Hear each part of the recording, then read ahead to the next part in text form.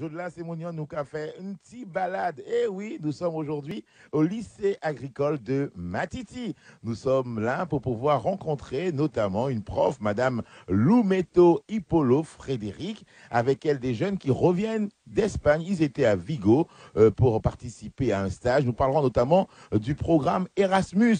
Qu'est-ce que c'est que ce programme? À quoi peut-il servir? Vous aurez toutes les informations. C'est le rendez-vous du jour, le rendez-vous de ce vendredi, juste avant le week-end. Et c'est vrai que nous allons découvrir des choses extraordinaires ici, euh, parce que de nombreux jeunes viennent tous les matins, ils arrivent en bus ou bien encore avec la famille, ils viennent prendre les cours ici. Ils sont aussi dans l'exploitation et c'est une manière pour eux de toucher la réalité vraiment de ce métier d'agriculteur. Donc tout à l'heure, avec tous ces invités, mais vous saurez un petit peu plus concernant le lycée agricole de Matiti. Je vous souhaite une très belle matinée, un très bon réveil si vous vous réveillez maintenant. Place à l'actu avec toute la rédaction et le journal de la matinale suivi de l'invité Thé Café. À tout à l'heure.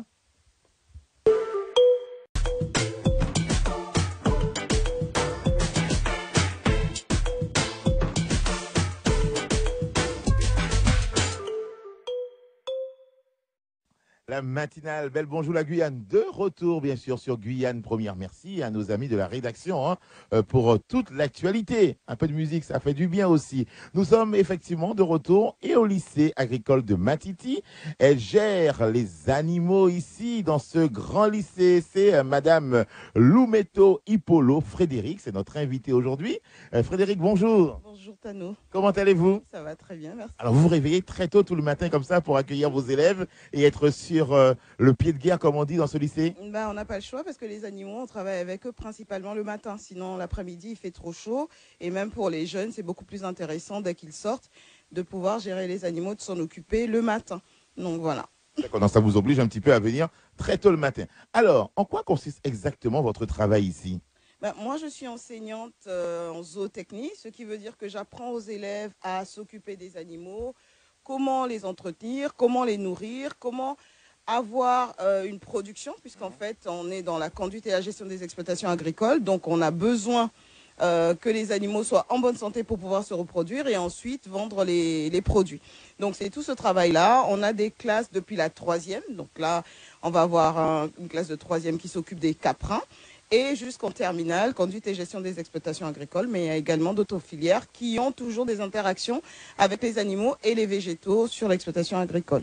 Alors, en arrivant ce matin ici au lycée agricole, moi j'ai vu beaucoup d'élèves arriver en bus, euh, ceux qui sont déposés par les parents. Ces élèves, pour vous, ils sont motivés, ils sont là parce qu'ils ont envie de travailler dans ce domaine? Oui, parce que euh, déjà, vous avez des élèves qui sont motivés par leurs parents. Vous avez aussi les profils qui arrivent en vous disant j'aime les animaux. Donc euh, bon, voilà.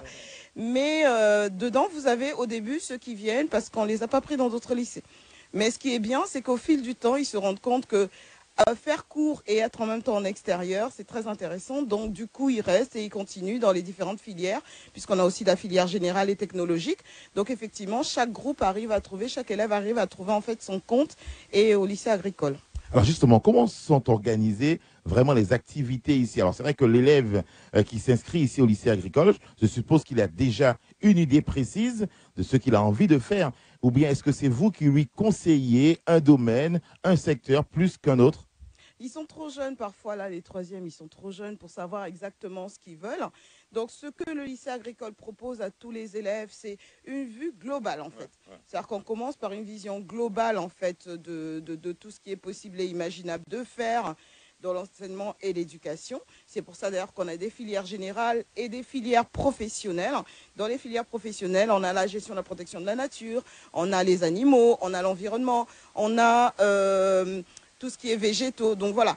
Donc après, au fur et à mesure qu'ils travaillent, qu'ils vont, ils ont différentes filières et au fil des filières, bah, ils finissent par choisir. Et aussi, on a euh, tout ce qui est mobilité internationale pour leur permettre de voir aussi autre chose, d'autres exploitations agricoles à travers le monde. Alors en discutant avec eux ce matin, j'ai vu que certains venaient de Kourou, euh, d'autres de Macoria, de plusieurs communes de Guyane.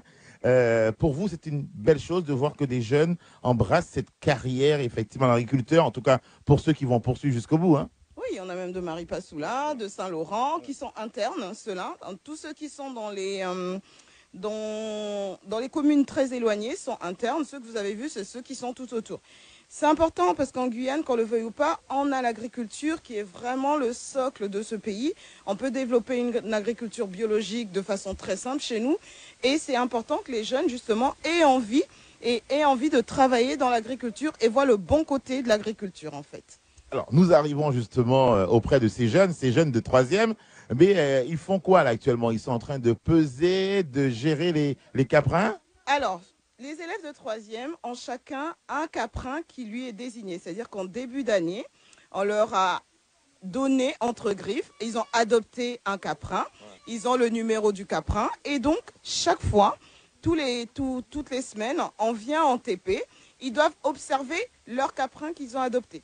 Donc, chacun va récupérer son caprin sur la base de son numéro, ils vont regarder si ça va, si les oreilles vont bien, au niveau des pattes, au niveau des onglons, puisqu'en même temps on fait des cours. Donc ils doivent être capables de vérifier que tout va bien au niveau de chaque animal. Voilà. Individuellement, hein, ils vont pas tout vérifier, mais chacun va prendre son caprin puisqu'il a adopté Ouais. et chacun va l'observer. Voilà. Alors, quelles sont les craintes justement de ces élèves qui, peut-être pour la première fois, se retrouvent avec un, avec un animal? Des craintes, non. Là, c'est des bébés caprins. Franchement, il n'y a pas de crainte, quoi. Là, en fait, ils essaient de les récupérer, justement, de récupérer leurs petits en fonction du numéro. Et ensuite, normalement, ils sont censés s'asseoir avec leurs caprins et les observer. Les craintes, sincèrement, pour les troisièmes, ils commencent par les caprins. Ensuite, ils montent en gamme. Ils vont travailler avec ce qu'on appelle des broutards, donc des bovins euh, qu'on vient de sevrer, etc. Et ensuite, on monte en gamme. Donc, c'est vraiment en première et en terminale qui vont travailler avec des taureaux, des, des bovins beaucoup plus imposants. Mais pour l'instant, ils travaillent sur, euh, sur des petits. Alors, ces jeunes ne sont pas encore concernés par le programme Erasmus. Euh, non? Les troisièmes, non. Les troisièmes, non, même si il est possible de les mettre dans le cadre d'Erasmus, dans le cadre des échanges scolaires. Donc, les troisièmes seraient plus concernés dans le cadre des échanges scolaires, tandis que ceux qui sont concernés par les programmes Erasmus, c'est ceux qui sont déjà en première et en terminale. Voilà. Alors, c'est quoi ce programme Erasmus? On en parle beaucoup. Il y a effectivement euh, des jeunes qui reviennent euh, du Portugal, ceux qui sont partis en Espagne. Tout à l'heure, justement, nous aurons avec nous deux jeunes qui reviennent euh, de- de- d'Espagne, de Vigo exactement. Ce, programme consiste à quoi, Madame Lumeto, Ipolo Alors, le programme Erasmus, c'est un programme de mobilité qui permet donc à des jeunes de partir en stage de formation professionnelle dans un pays européen et en fait qui va leur permettre d'effectuer des stages, des périodes de stage inclus dans leur formation, mais sur des productions qu'on n'a pas forcément ou qu'on a très peu en Guyane, comme euh, les caprins laitiers, les bovins laitiers, tout ce qui est laitier en général, ou alors des chevaux. Euh, c'est vrai qu'il y a des centres équestres en Guyane, mais tous les élèves ne pourront pas faire leur stage dans les centres équestres euh, de, en Guyane. Donc, pour permettre au plus grand nombre, en fait, de travailler sur des productions sur lesquelles, pendant le cursus, ils n'ont pas forcément pu le faire, on envoie donc des jeunes pendant deux semaines pour l'instant, et sans doute, avec l'accord de la directrice, quatre semaines, faire des stages euh, dans un autre pays européen que la France. En tout cas, c'est du sport le matin que de les voir courir comme ça après les, les caprins. Peut-être qu'on peut voir les images avec euh, euh, Phil Monté. Regardez un peu à ces jeunes de troisième. Alors, ça fait rire certains, mais d'autres prennent ça très, très, très au sérieux. Alors là, voilà. En plus, c'est pas facile pour eux d'attraper euh, euh, euh, cet animal qui court très, très, très vite et qui est parfois capricieux. hein. Oui, il peut être capricieux, mais là, par exemple, c'est eux qui ont mal, euh, qui s'y sont mal pris, parce que généralement, quand c'est comme ça, ils ont besoin d'en- d'entourer les animaux et de revenir. On leur apprend aussi tout ça. hein. C'est-à-dire que là, par exemple, l'erreur, ça a été, ils sont trop nombreux, tout simplement, et les, et les animaux ont paniqué. Donc tout ça, on leur apprend ça. C'est-à-dire que tout à l'heure, je leur ai donné comme instruction, vous partez à quatre. Ouais. Ils sont pas quatre. Donc forcément, les animaux, en les voyant arriver comme ça, bah, forcément, ils paniquent. Mais je vous comprends. Écoutez, moi, ce que je propose, euh, euh, Madame Lumeto et Polo, allez gérer ça avec les élèves. Et moi, je profite de l'occasion pour discuter un petit peu avec euh, des jeunes qui reviennent d'Espagne. Ils reviennent de, de Vigo exactement. Alors, je sais qu'il y a Wendrick qui est là. Alors, viens Wendrick. Et euh, tu peux te rapprocher aussi. Rappelle-nous ton prénom. Soliane, Soliane. Comment ça va, Soliane Mm, ça va très bien. C'est dur de réveiller le matin. Non, ça va, on a l'habitude maintenant. Justement, tu te réveilles à quelle heure pour venir ici au lycée agricole Euh, avec le bus, je me réveille au moins à 5h30, comme ils viennent nous chercher à 6h20 à Coro. Donc, histoire d'avoir le temps de bien se réveiller, manger, tout ça. Sur la route, tu te réveilles quoi Oui. Pour être en forme, effectivement, en arrivant ici. Alors, Soliane, toi aussi, tu es partie en Espagne. Comment s'est passé euh, ce, ce voyage pour toi? Est-ce qu'il est important d'aller en échange dans des pays comme l'Espagne, des pays européens? Je sais qu'il y a l'Espagne, il y a parfois aussi le Portugal euh, pour d'autres élèves. Alors euh, oui, bah c'était très bien. on était dans un hôtel, on était aussi dans un, pour moi dans un centre équestre, on était tous ensemble dans la classe. Et euh, c'est assez important parce que on apprend à se débrouiller à l'étranger. Et euh, en plus de ça, comme on part avec Erasmus, on a un, diplôme en plus, du coup qui nous permettent de, trouver du travail plus facilement ou des stages plus facilement, parce que justement les employeurs voient que on, a appris à se débrouiller autre part. Et puis, ben, quitte à visiter l'Europe, autant le faire pour gagner quelque chose. Et euh, on apprend de la culture, on apprend des gens les paysages sont magnifiques. Je sais. Alors, vous êtes arrivé en, en- en pleine révolution, euh, Wendrick, hein c'est ça Catalogue, bah, et- et Madrid et tout ça Tout à fait, oui, justement avec Barcelone, euh, les problèmes qu'il y a avec l'indépendantisme, tout ça, et puis qui fait que nous n'avons pas pu passer par Barcelone pour le retour. Bon, Alors, comment tu as vécu, toi, ce stage, Wendrick, en, en Espagne, à Vigo exactement? Ah, ben, franchement, c'était formidable, rien à dire. euh, C'est à refaire, moi, je dis, franchement. Alors, est-ce que vous aviez déjà, vous- venez avec moi, vous avez déjà entendu parler du programme avant que Madame euh, euh, Loumeto, votre prof, vous, vous en, vous en- votre prof vous en parle, ou bien est-ce que vous êtes déjà renseigné auparavant? Euh, en fait, ben, moi j'avais des frères qui étaient ici, donc euh, ils étaient déjà partis en voyage avec Madame Loumeto. Du coup, bah, j'espérais justement qu'elle revienne au lycée pour qu'elle continue à faire partir des élèves, qu'on puisse en profiter. Et c'était le cas et on est content.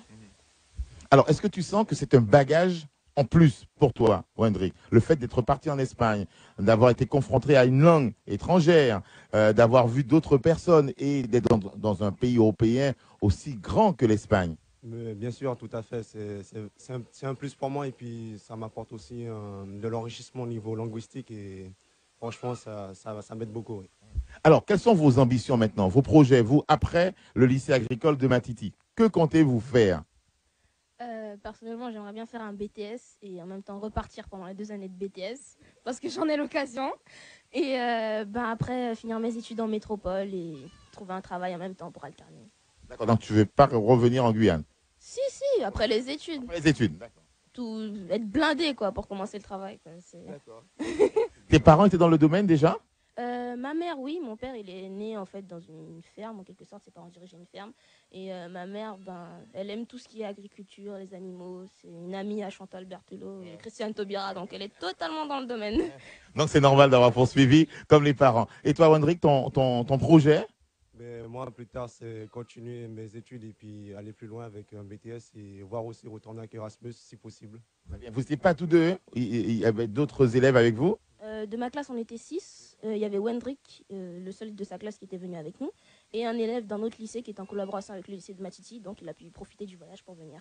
D'accord. Très bien. Alors, comment on dit bonne journée en espagnol? Euh, buen dia. Bon dia. Ça marche ainsi? Muchas gracias. Merci à vous. Merci en tout cas pour ce magnifique témoignage. Eh c'est le moment maintenant de retrouver la chronique de notre ami Mike Montbrun. Mike Montbrun, qui dit quoi? Il vous interroge, il vous pose une question et vous devez tout simplement répondre. On se retrouve juste après avec la directrice de ce lycée agricole, Madame Saran, avec elle nous parlerons des projets du lycée agricole de Matiti. Ah ben tiens, on va revoir quelques images avant de repartir avec qui dit quoi Des images, euh, bien sûr, de Madame Lumetto Ipolo que nous remercions pour cette belle visite ici au lycée agricole de Matiti. Qui dit quoi avec Mike Brandouin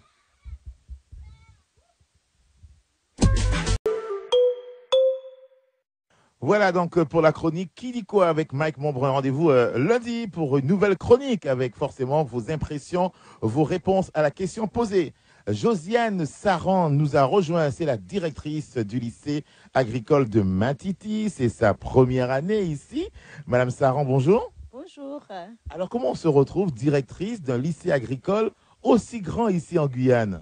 Ben, c'est un parcours euh, professionnel, hein, puisque avant, euh, je suis dans la fonction de direction depuis euh, 2003. Et, et puis, j'ai fait plusieurs établissements en tant que qu'adjoint. hein. j'ai fait sur la métropole euh, en Aquitaine, après en Midi-Pyrénées. J'ai eu un parcours aussi en Guadeloupe hein, pendant cinq ans. Et après, j'ai postulé sur le poste de, Guyane. Vous êtes heureuse d'être ici, je suppose. Oui. Alors, on vient de discuter avec euh, notamment des élèves euh, qui reviennent d'Espagne, de Vigo exactement. Nous avons aussi discuté avec Madame Lumeto Ipolo. Vous sentez qu'il y a une belle cohésion ici dans ce lycée, que tout le monde tire dans le même sens? Oui, euh, là, on est vraiment, et c'est un, un projet qui est fédérateur sous la coopération internationale. Et puis, le positionnement de la Guyane aussi hein, fait qu'on doit être dans l'international. Et ça permet de rassembler euh, les, les, filières, les enseignants, et même au-delà, puisque nos projets à l'international sous les projets européens Erasmus, on l'ouvre à d'autres partenaires, à d'autres établissements. Donc ce ne sont pas seulement nos ceux du lycée, les élèves, les étudiants, voire euh, les formateurs euh, et enseignants qui peuvent partir dans ce cadre de ce projet international, mais aussi les, partenaires associés au lycée peuvent aussi bénéficier de ces projets. Donc c'est vraiment, on est dans l'ouverture. Madame Saran, la rentrée s'est faite il y a de cela quelques mois maintenant.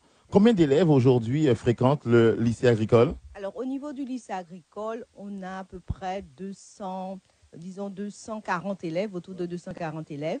Mais on a aussi des apprentis, euh, à peu près 70 apprentis, et des stagiaires qui viennent pour la formation continue. Mais bon, le nombre de stagiaires est variable en fonction des formations qu'on met, met en place. Il y a ceux qui sont en internat, il y a ceux qui viennent tous les matins. Euh.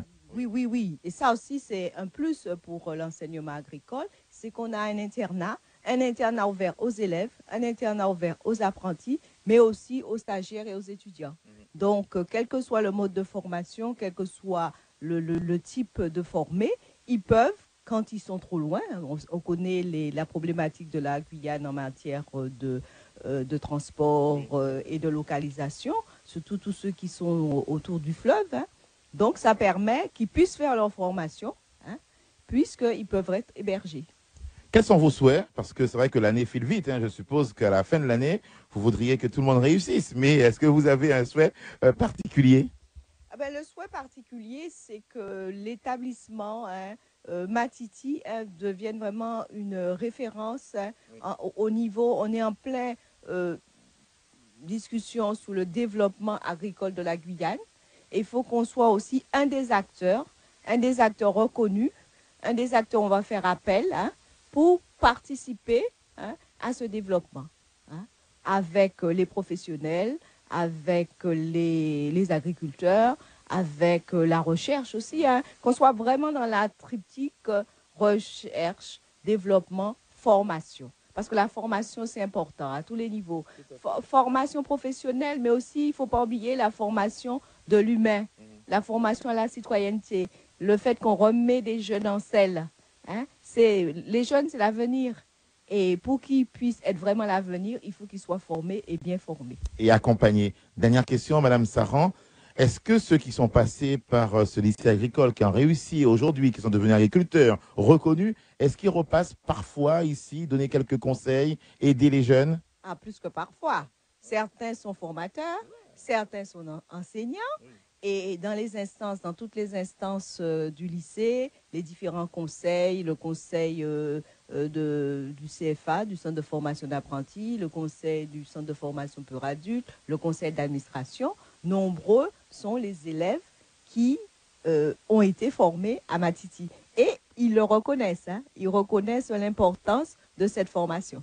Très bien, la vie est belle en tout cas ici au lycée agricole de Matiti. Merci beaucoup Madame Sarah, on vous souhaite euh, beaucoup de réussite, une belle continuation avec euh, vos élèves.